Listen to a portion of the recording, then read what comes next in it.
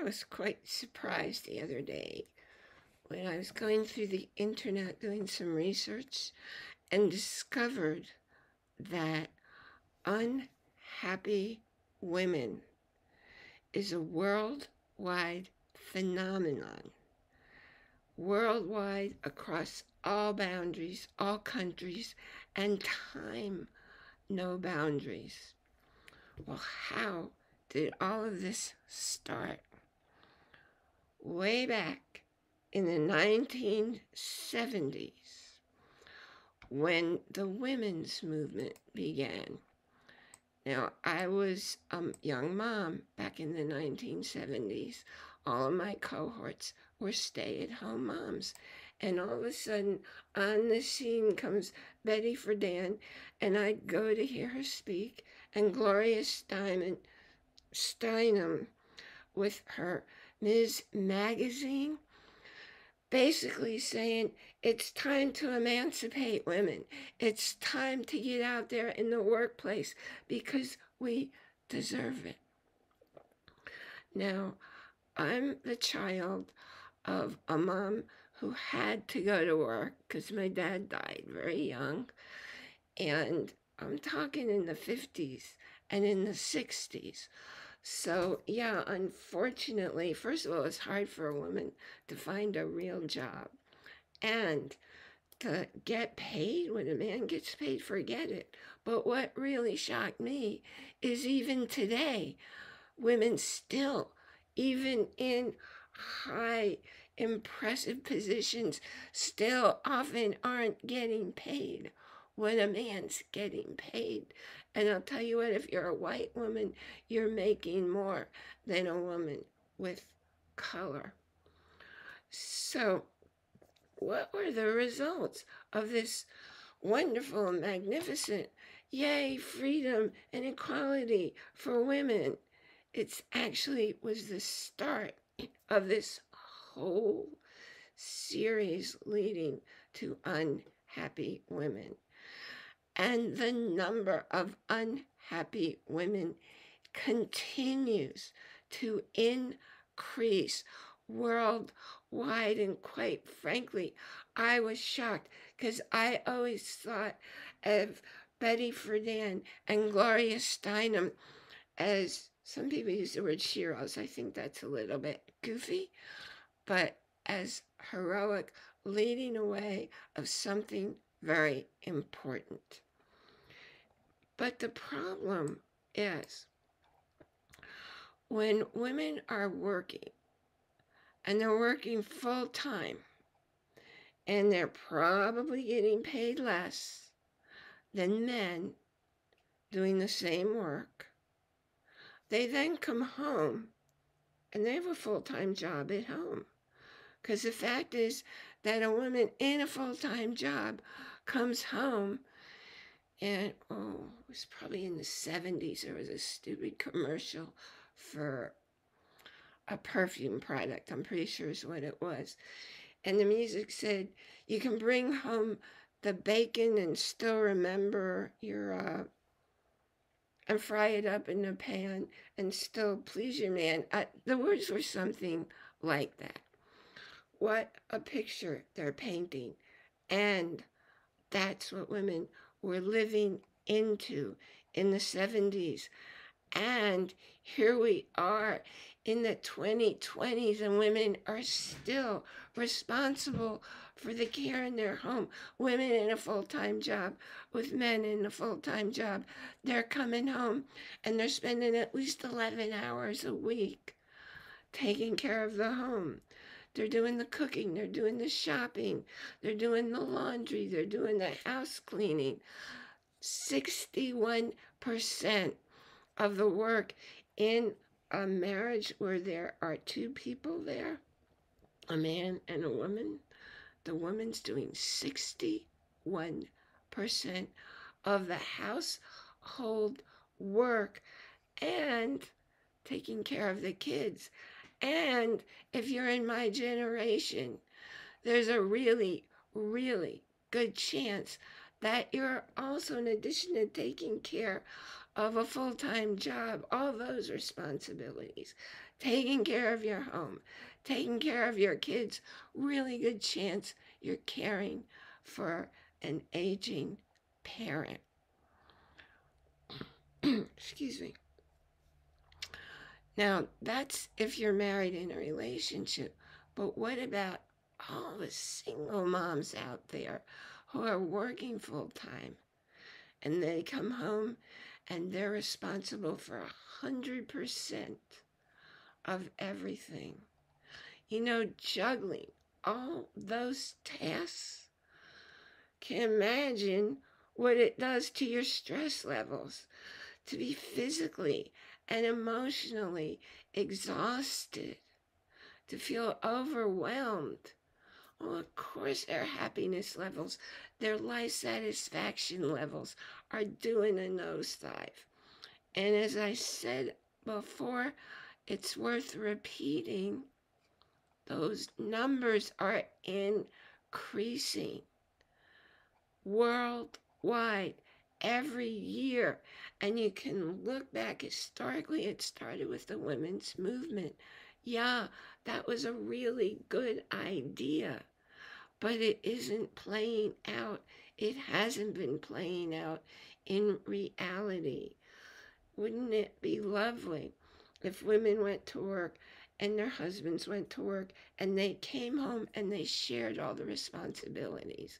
Now, I'm aware in my daughter and son's generation that more and more couples actually do share the responsibilities, all of them.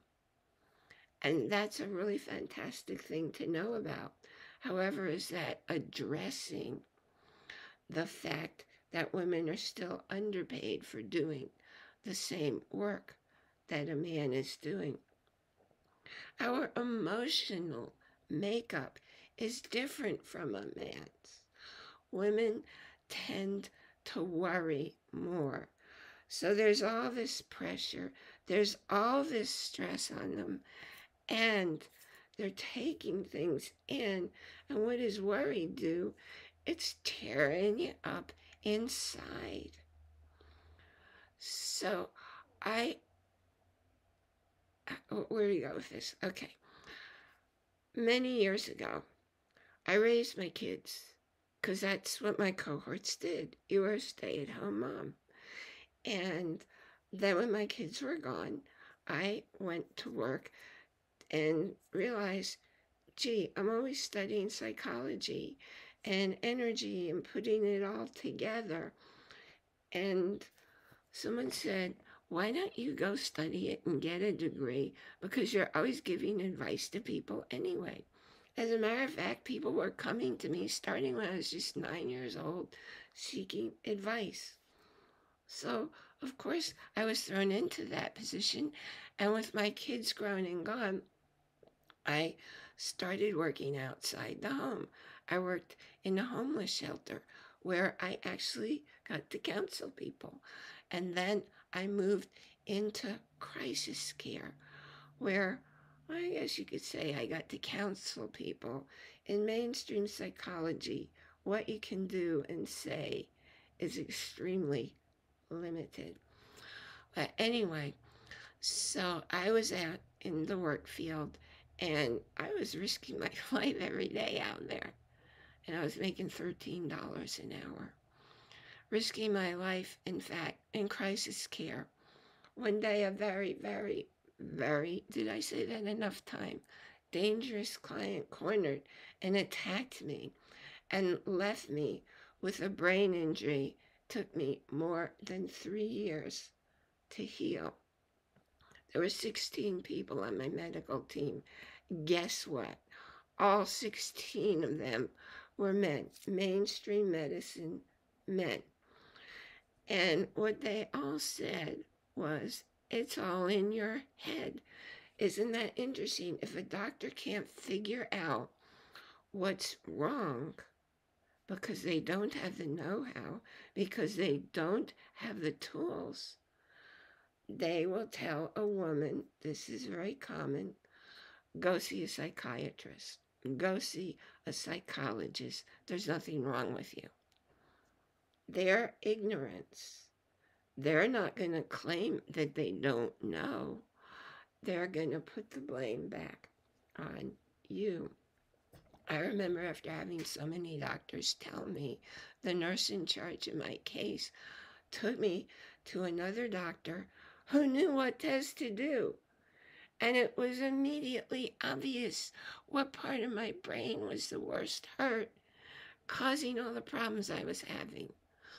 So the very arrogant doctor who said there was nothing wrong with you, he just didn't have the skill to know what to look for.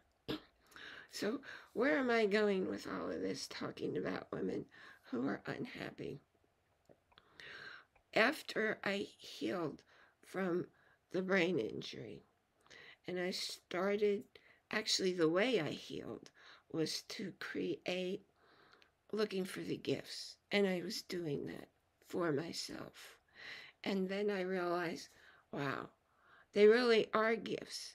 And I'm going to feel happy and grateful that I can look for because I'll always find those gifts. And right then I started something I call the Happy Share movement. So what I do is every morning I actually list 10 things for which I feel happy and grateful that morning.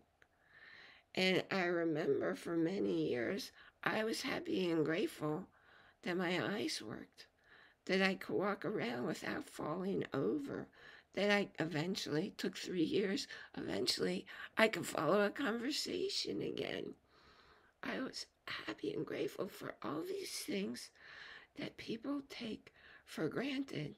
so I wasn't stuck in the place of being somebody unhappy because I took charge of my life. And I'll tell you more about the Happy Share movement in a bit.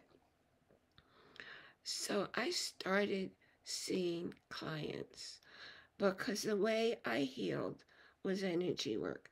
Many different modalities helped me to heal different aspects of what I had lost. And it was really cool because I was really adept at learning things, had no memory, had to work with my manuals open, but I was usually the first one in the class to grasp the concepts and to have success with my clients. So where am I going? I had a client, I, I love, love, love doing teaching live classes because I love to demonstrate by having volunteers come up. I have very experiential classes, and I have people come up so that everybody in the class gets to be part of responding to the invisible energy. You know, you think all the space around us is empty, but it's not. It's full of all kinds of things, and today scientists have devices for measuring and seeing, and you can see all these patterns. The space isn't empty. And those of us who can see and feel the energy, can you feel that energy if you just run your hands and consciously want to be aware? I did energy work. I felt the energy. I do Qigong. I feel the energy. I see the energy while I'm practicing. So in one of my classes, in every class, I'd have somebody come up and for a very quick, immediate uh, response, I'd ask them to think of something that left them very frustrated or annoyed. Man, every person thought of something instantly. Why does that happen? Because in our world today, we're not looking for what we want in life. We're looking for what we don't want, what we want to avoid in life. So that happens instantly. And then I ask people, think of something that left you feeling happy. And 100% of people don't come up with something right away. So I say, Do you have a child? And every single one of them, almost every single one of them who had a child, immediately a smile would come to his or her face. Well, one day Cheryl was in my class, and when I asked her those same questions, think of something that lets you feel happy. She stood there for the longest time and she tried and she tried, and you know the word tried means there's not going to be success. She couldn't, no matter what, think of one single incident across her life. This was somebody in her 50s. All across her life, she had no recollection of ever feeling happy. So Oh, I asked her, Do you have a child? She said, Yes, it's an adult child. She couldn't think of a happy memory there, even raising him. So after class, she asked if she could come work with me. Excuse me, sorry. Well, when Cheryl came to work with me, because I work energetically, things happen really, really fast, pretty much instantly. And after our first session, Cheryl called me the next day and she was beaming. She was overjoyed. You know how you can hear a smile in somebody's voice? Well, it was coming out loud and clear through the telephone.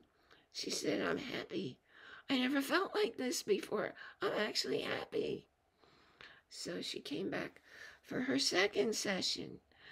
And she and her son, if they ever tried to talk, they wound up in a fight. So they were at the point where they just didn't even try to talk to each other. She lived on the mainland U.S. He lived across the ocean on uh, in Hawaii somewhere. So they were at the point where they weren't talking to each other. Now, I was working just with Cheryl.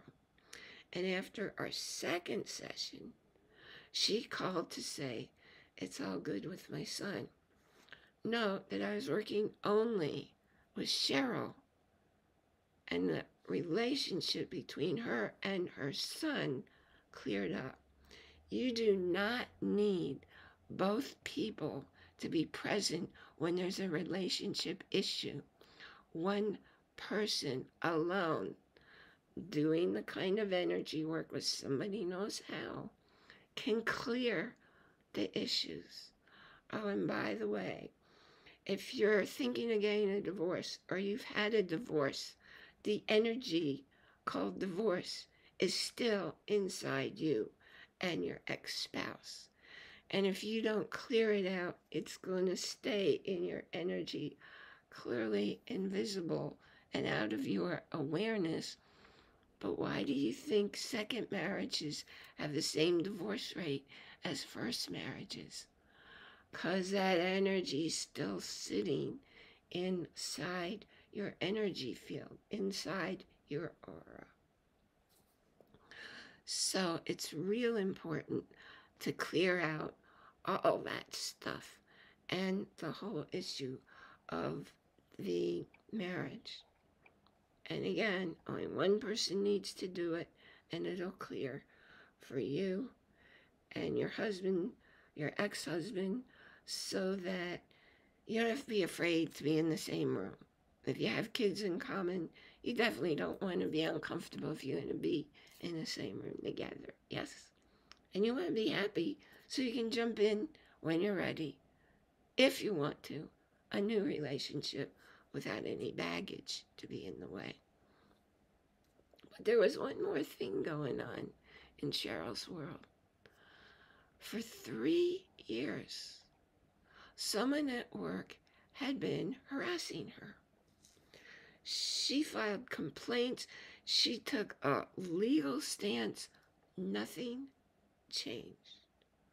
So just going through, clearing her energy, in the third session, can you guess what happened? Anybody want to guess?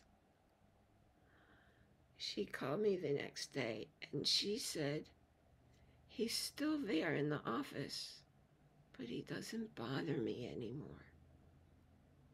So all the legal action she had tried to take didn't work.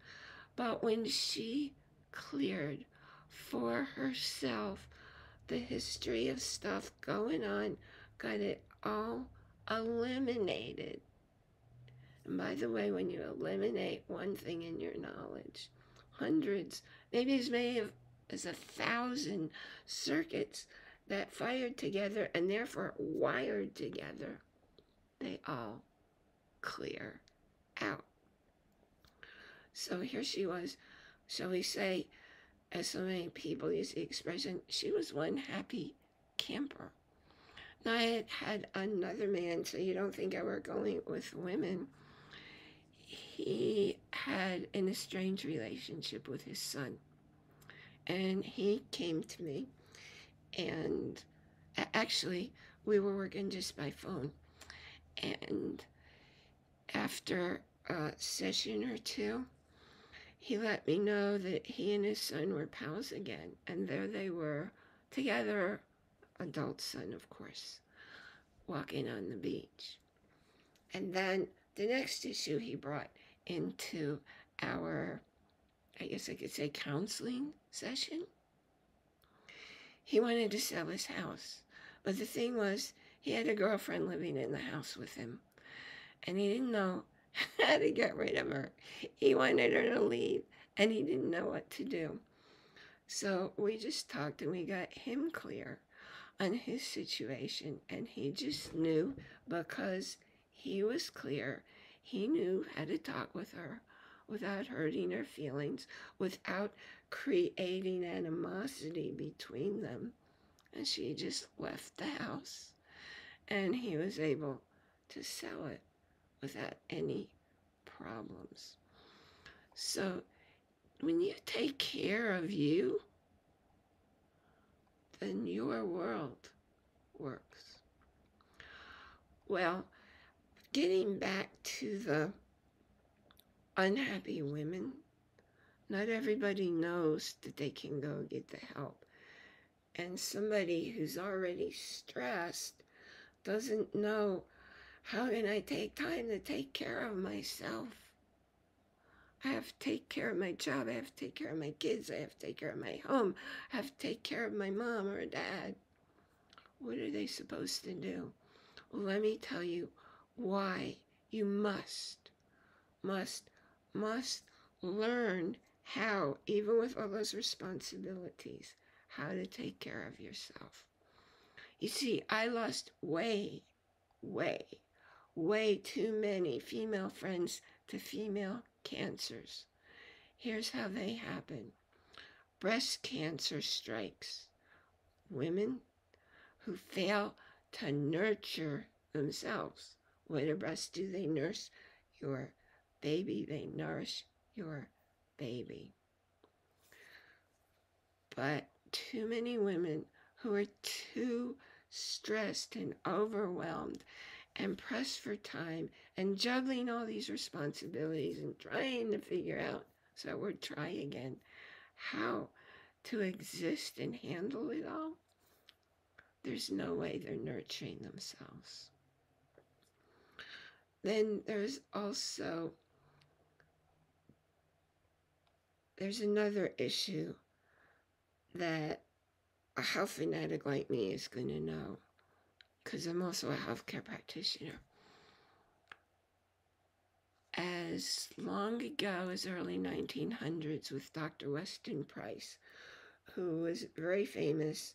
In fact, there's a whole foundation, I think it's called the Weston Price Foundation, and they educate people on wellness because that's what Dr. Weston Price did in the early 1900s. And one of the things he was explaining to people is the dangers of root canals.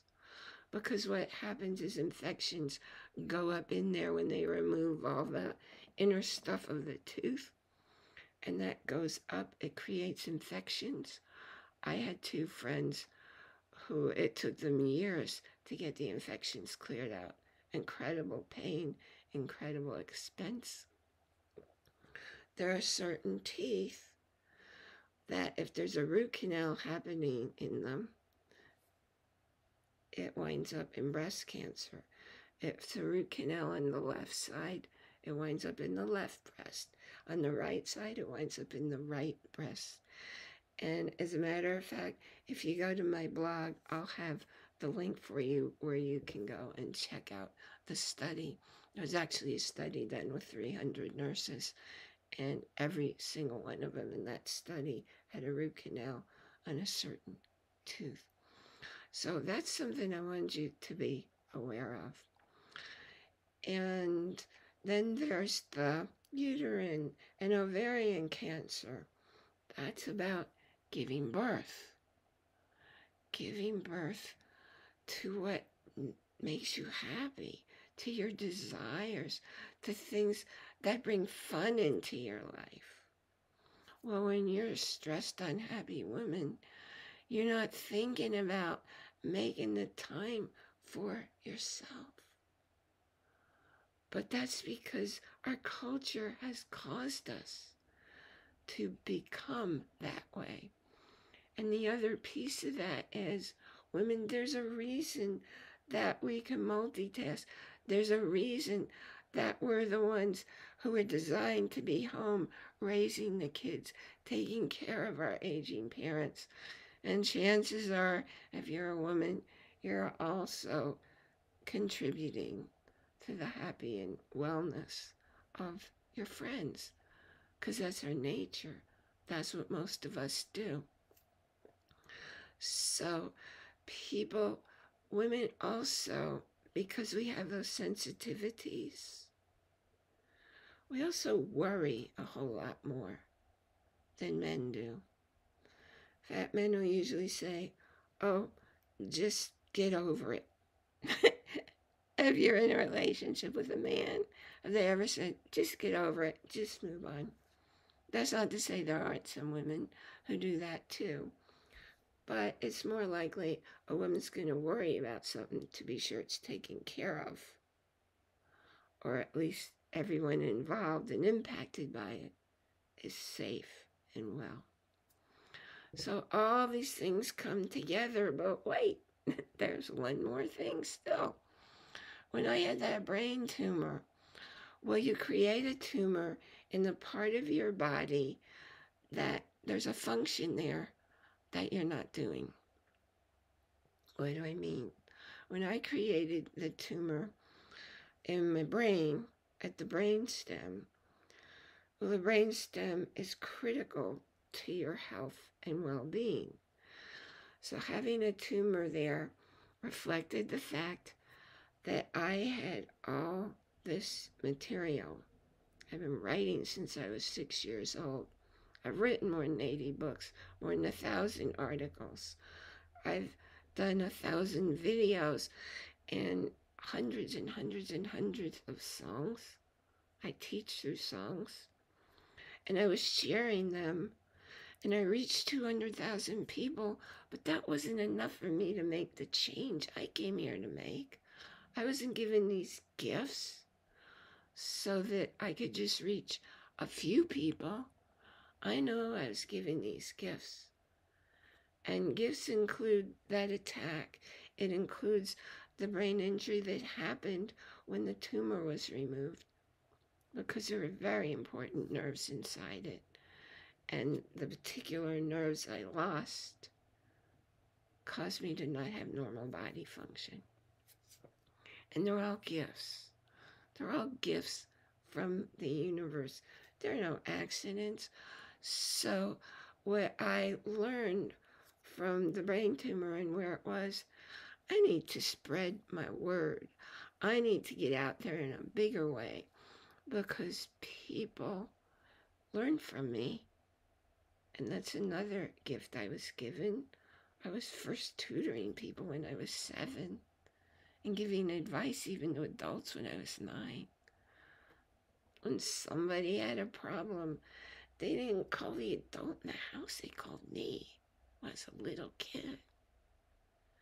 When I was working in psychotherapy and somebody was going off into some kind of episode, they called me because I could bring peace just by being there.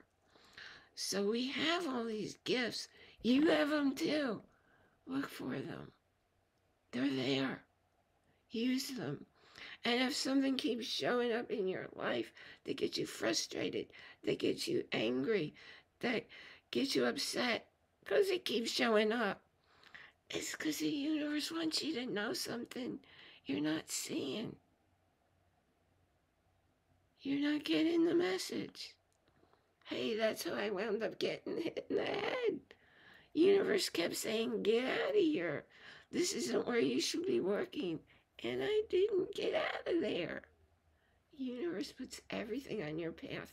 Every person in your life, every kind of circumstance, every event. So you get the gift of seeing, oh, that's something I can choose to have a different view of it.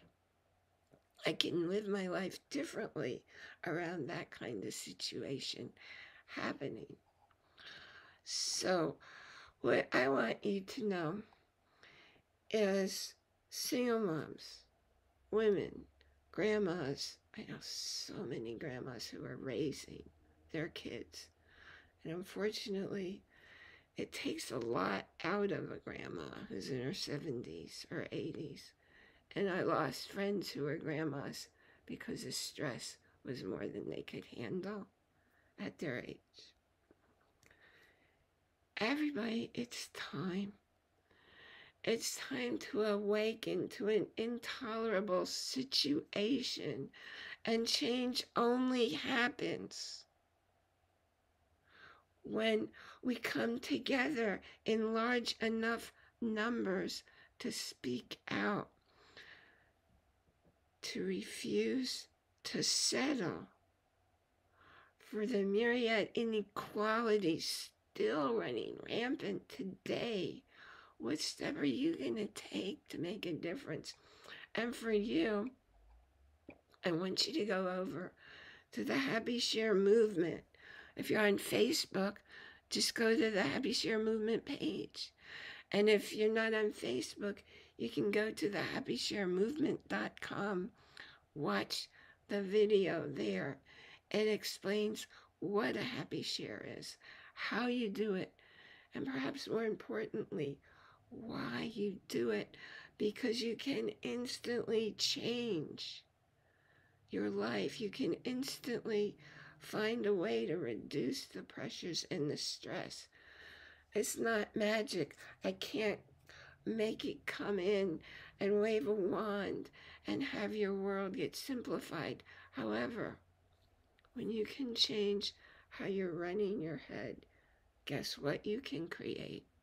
A different circumstance to handle the way your world runs.